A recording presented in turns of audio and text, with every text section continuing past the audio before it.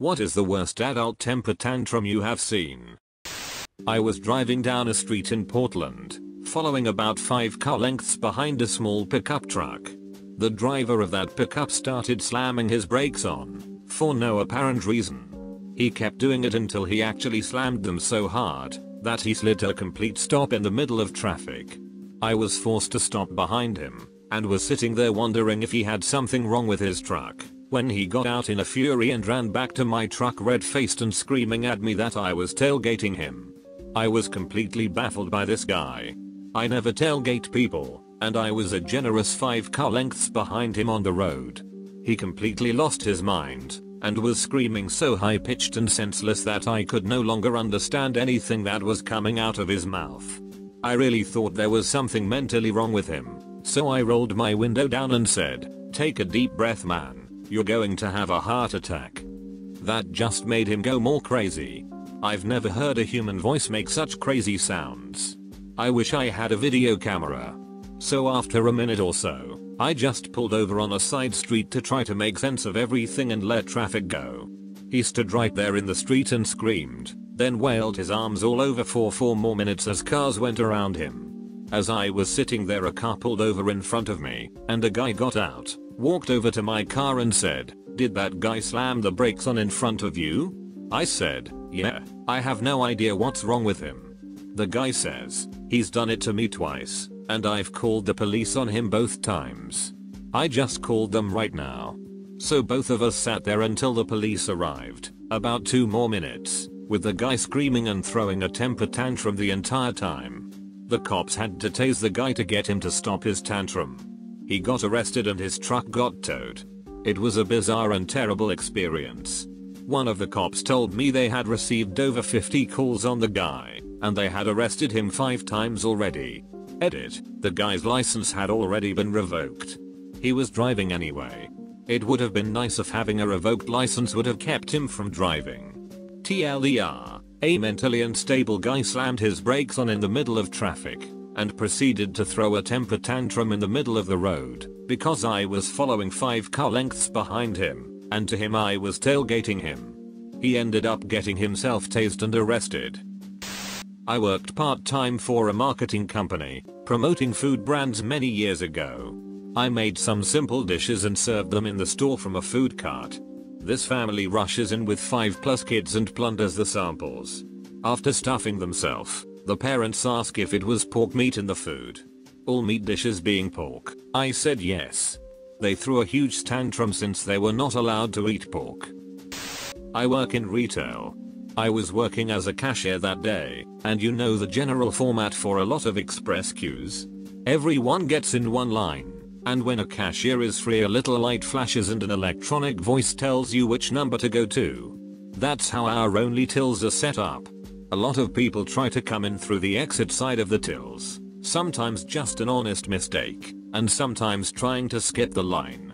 Had a guy come in when we had a decent lineup, and he went in through the wrong way and walked right up to my till.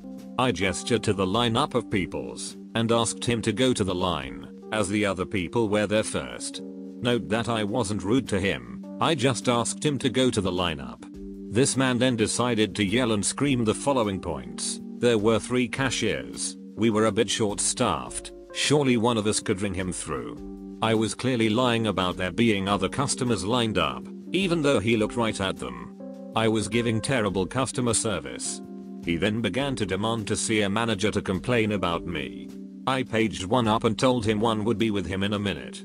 He literally waited about 5 seconds before screaming, I don't have time for this.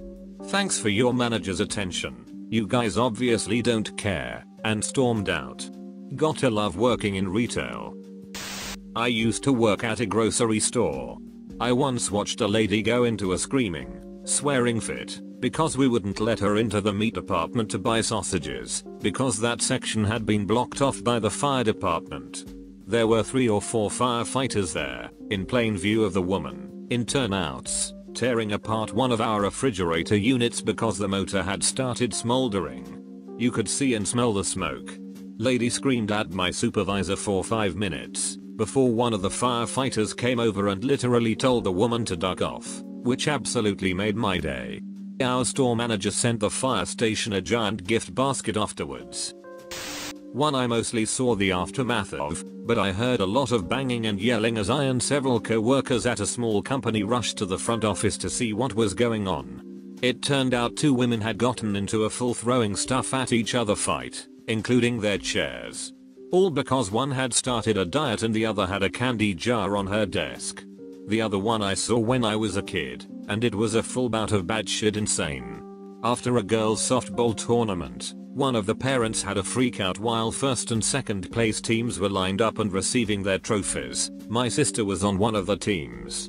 She ranted, screamed, yelled at the umpires, accused them of fixing the game, threw equipment around, threw dirt, stopped just short of assault, and the umpires and coaches mainly let her rant, even when she was screaming in their faces. Her daughter was standing there, holding her second place trophy, in tears, Finally this woman yelled at her daughter to come on, they were leaving. The daughter clearly wanted to stay, but the lady kept screaming, so the daughter stepped away from the team and walked toward her. The woman tore the trophy away from her daughter's hands and threw it on the ground, the two of them heading off into the parking lot. Stan comes into office and notices Bill has muddy boots propped up on Stan's desk. Stan goes red in the face leaps onto Bill's desk and proceeds to do what I can only describe as a reverence. How do you like mud on your desk? Stan screams. I about shit myself laughing. I told a lady that I couldn't return her 45 pound bag of dog food that was probably 75% gone. She started screaming that the customer is always right, and continued to scream it until we had to ask her to leave. I watched a guy in Walmart flip his shit at like 10pm because some sections at the store were blocked off to be waxed overnight. He had his entire family, which included four young kids, and was freaking out at the self-checkout lady over the section being blocked and asking why they didn't do it later in the night, even as she explained that it's a long process that takes literally all night. I used to work at Logan Airport during the whole liquid ban, I told some guy he couldn't bring his soda through security. He proceeds to go on a giant tirade against government interference, and that I was somehow personally responsible for taking all his freedoms away. He then proceeded to yell that he had a bomb. He was swiftly tackled. This is the only time I've had to walk away from a customer in order to keep my calm and not get fired. I work at a certain video game retailer, and I had a lady try to trade in a PS3 that had pieces chipped off, a large crack in the case, smelled like a cat had used it as a litter box, and had both thumbsticks on the controller chewed through to the little plastic nubs. Well when I told her I had to put to refurb fee on the system since I couldn't sell it as is, she flipped out on me, cursing up a storm, and calling me a thief for 20 minutes before the manager had to get involved. I even tried to reason with her, through asking if she would be happy if I had sold her that particular system, and she screamed at me that no, she wouldn't, but that isn't her problem, and that she is going to get the full value out of her system. It was so bad her own daughter came up to me afterwards, and apologized for how her mother acted. Oh and the lady got her way eventually, by having the manager discount the PS4 she was purchasing by the amount of the fee. Edit, just wanted to spread a bit more light. The manager didn't intervene earlier because he was on a break, and he is a fantastic manager. It was one of those situations where the customer would have escalated to the district manager, and then would have gotten her way anyway, so the manager went ahead and put a discount on the transaction. He did however get back at her by throwing a few things in that she didn't really need, including a few things she absolutely couldn't return, and got nearly a $1,000 sale out of her. Which still boggles my mind that she spent that much and was pissed about losing $30. The worst was definitely from a man when I worked for an auto parts store. The parts often have lifetime warranties, and all we needed was some info, and we could replace it up to the day you junked the car or died, whichever came first. I asked the gentleman for some info, phone number and name, and he refused. I explained that without it, I couldn't give him his lifetime warranty, and he lost his shit. I mean, he turned this violet color, vein pulsing in his fat forehead, yelling and screaming at me.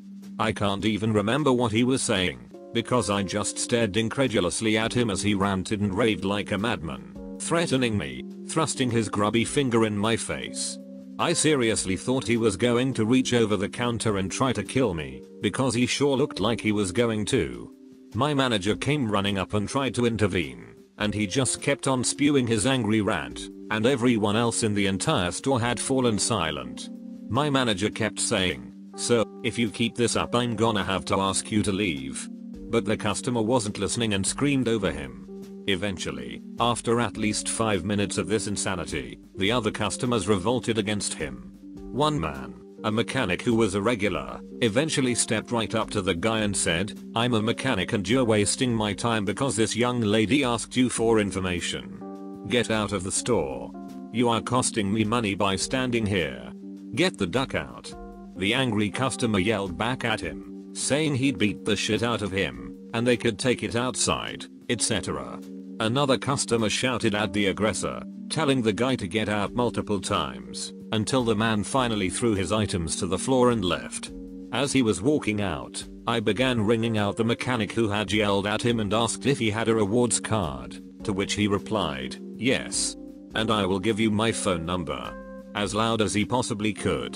TLDR, got yelled at and threatened by a shithead, lovely mechanics came to my rescue. At Doha boarding my flight, a lady handed her ticket to the gate agent and was informed that she was at the wrong gate, as this flight was going to Dallas Fort Worth and she was going to Los Angeles International Airport. Now a sane person would assume that the person who works for the airline and just let 50 people on the plane with boarding passes that say they are going to Dallas Fort Worth would know where this plane is going, but this cunning traveler wasn't having it. They told me the flight to LAX is at this gate, you're lying to me. And then the gate agent offered to look up what gate her flight was at, but she just snapped back and asked the gate agent, are you sure? About 5 times, each one louder and angrier than the one before, then asked the people right behind her in line, including me, are you sure this is not the flight to LAX? And then she stormed off, presumably to find what gate her flight was actually on, and run in that direction, but that's what a sane person would do, so who knows. Worked in a call center for a once major retail chain. We provided tech support to their main corporate office as well as the stores. It was a really big desk. I think at our peak when I was working there, we had around close to 70 or more agents, with 50 plus being active during our peak hours. So you saw a lot of interesting people and weird characters. Still, it was a very professional environment and no one really had any major freakouts surprisingly, except for one guy. Don't know his name, never learned it. His routine was, come in whenever he wanted to, sit down at a desk, sign into the phone, put himself in a not ready status, pull out a drawing tablet, and sit there playing on it all day. He was a normal agent, like the rest of us, but he rarely if ever took calls. Rumor was that he was the nephew of someone really high up, and that's why this behavior was ignored. He was quiet and kept to himself, and him being paid to do nothing really didn't hurt us. One day though he stands up abruptly yelling, duck, at the top of his lungs. An entire call center suddenly goes dead, and all eyes go to him. He storms off to the break room with his tablet in hand. What followed was the sound of something being bashed against something else and the repeated shouts of profanity that lasted for around 15 to 30 seconds, where he walked calmly out of the break room on tablet, quietly sat at his desk, and glared at his computer monitor. Didn't see him the next day, and never saw him again. I'm assuming he got moved into upper management,